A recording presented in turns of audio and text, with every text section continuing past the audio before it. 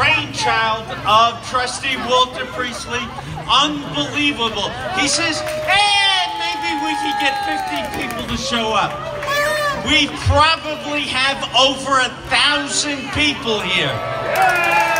They are strong.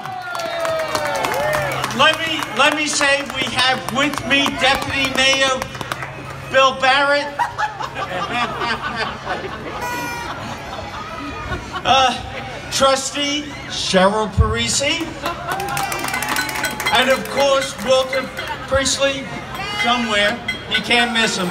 Okay, we ready for the countdown?